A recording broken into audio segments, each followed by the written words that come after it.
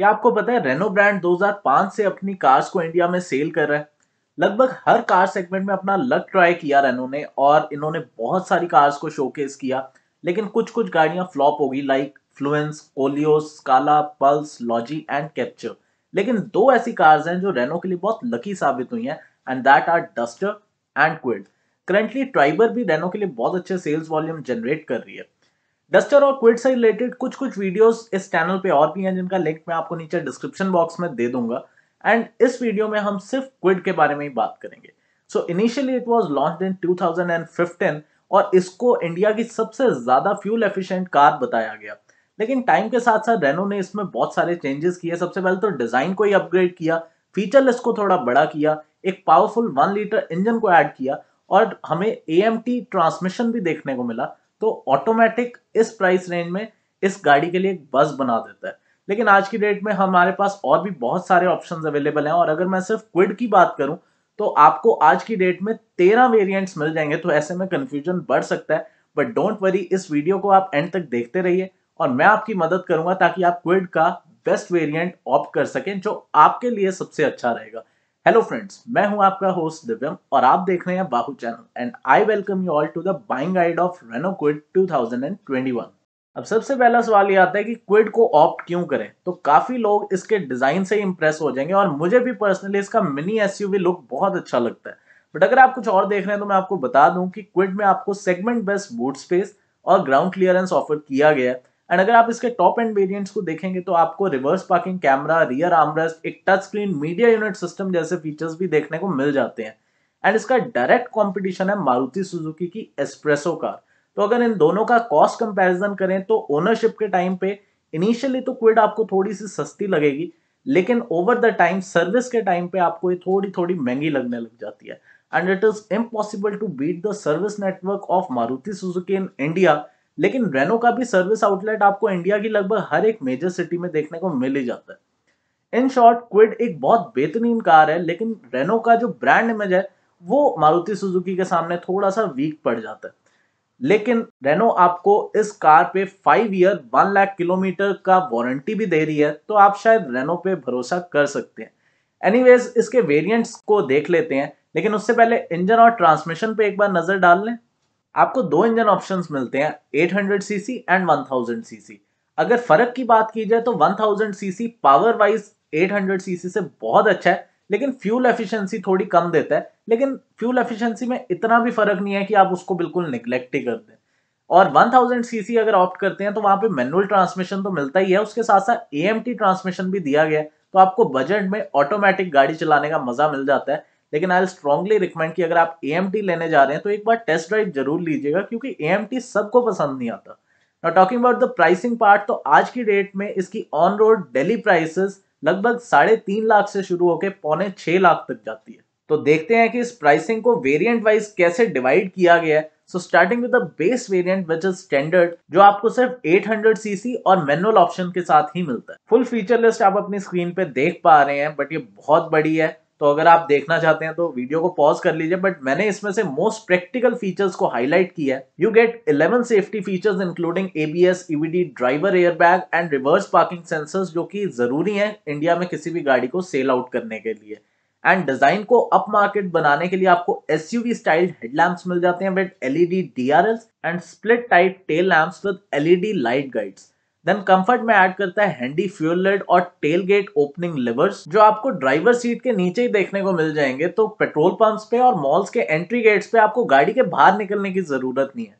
And Kwid में storage spaces की भी कमी नहीं है। आपको डेडिकेटेड मोबाइल वॉलेट और टिकट होल्डर का स्पेस देखने को मिलता है। And last but not the least you get a LED digital instrument cluster तो देखने में तो 3.42 लाख पे स्टैंडर्ड वेरिएंट एक बहुत अच्छा पैकेज लगता है, पर क्या इसको लेना चाहिए? आई डोंट थिंक सो क्योंकि यहाँ पे आपको एसी और म्यूज़िक सिस्टम देखने को नहीं मिलता तो उसकी एक कमी लगती है। एंड इससे भी बड़ी कमी लगती है कि पावर स्टेयरिंग नहीं दिया गया।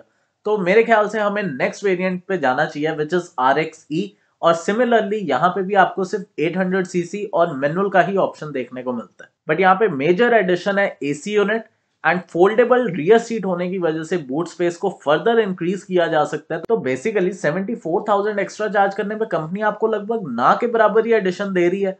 और यहाँ से पता लगता है कि सिर्फ़ क्विड की इनिशियल प्राइस को कम रखने के लिए स्टैंडर्ड वेरिएंट रखा गया। नहीं तो स्टैंडर्ड और आर में फ़र्क ही क्या है?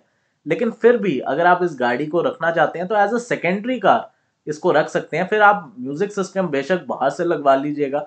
But I still prefer to switch to the next variant that is R X L जहाँ से आपको वन लीटर इंजन और ऑटोमेटिक का भी ऑप्शन दिया गया है। And as you can see यहाँ पे नियोटेक को हाईलाइट किया हुआ है, जो रेनो ने अभी रिसेंटली ही क्विड में लॉन्च किया था और इसका पूरा नाम है नियोटेक आर एक्स एल तो आर एक्स एल का ही एक्सटेंशन है। तो सबसे पहले आर एक्स एल के कुछ हाईलाइट्स देख लेते हैं, बाद में नियोटेक को भी कवर कर लेंगे।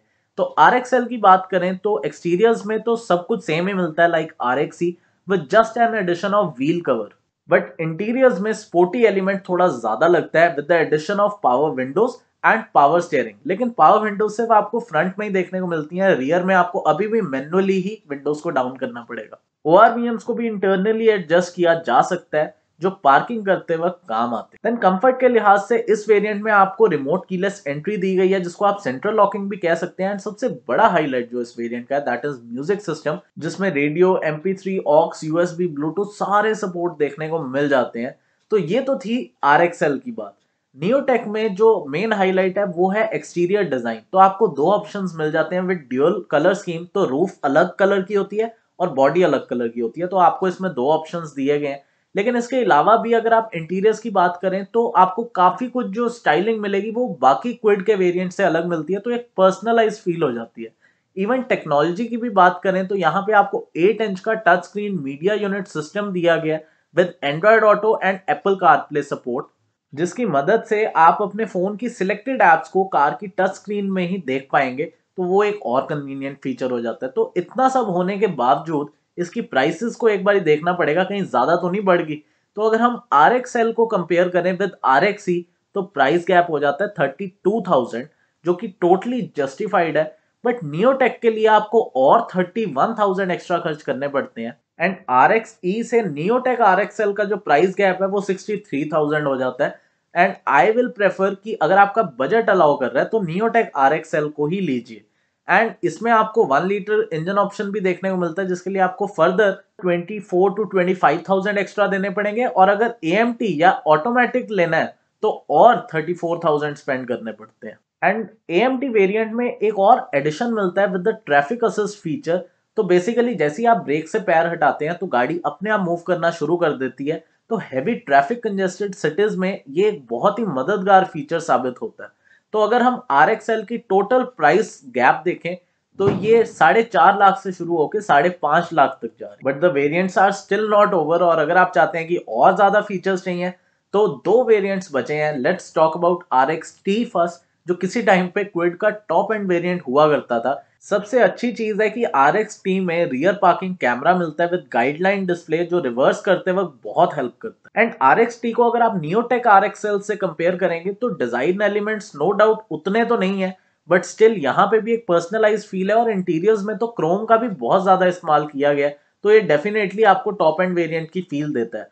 एंड अगर आप इसको नियोटेक से कंपेयर करते हैं तो 8 इंच मीडिया यूनिट स्क्रीन जो नियोटेक में मिल रही थी, वो यहाँ भी मिल रही है। लेकिन अगर आप रेगुलर आरएक्सएल से कंपेयर करें तो एक एडिशन फील होती है।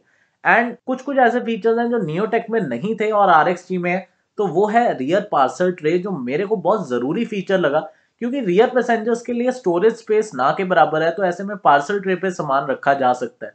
इसके अलावा फ्रंट पैसेंजर्स के लिए एक फास्ट यूएसबी चार्जर का सपोर्ट दिया गया for adding the convenience and if you of for one litre engine तो आपको कुछ और डिज़ाइन एलिमेंट्स मिल जाएँगे apart from a rear power window and passenger airbag as an option अब आर एक्स टी की प्राइसिंग को आर एक्स एल से कंपेयर करेंगे तो दो प्राइस गैप निकल के आते हैं। अगर नियोटेक से कंपेयर करें तो प्राइस गैप नेग्लिजिबल है। ओनली थ्री थाउज़ेंड और ten thousand in case of one litre engine लेकिन अगर आप आर एक्स एल से कंपेयर करें, तब एक सिग्निफिकेंट प्राइस गैप है which is approximately 35 to 40,000 and hence I would like to say कि RXT और Neotech में सिर्फ़ डिज़ाइन का ही तो फ़र्क है। If you are happy with the design of RXT variant तो डेफिनेटली ये आपको एक बहुत बढ़िया पैकेज देता है। स्पेशली जब मैं देखता हूँ कि इसमें आपको रियर पार्किंग कैमरा भी मिल जाता है विद गाइडलाइन डिस्प्ले जो एक बहुत अच्छा फीचर है उसको निग्लेक्ट मत कीजिए।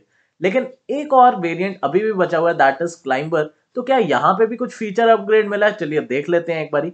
तो ये अकेला ऐसा वेरिएंट है जहाँ पे आपको 800 सीसी का इंजन ऑप्शन नहीं मिलता है।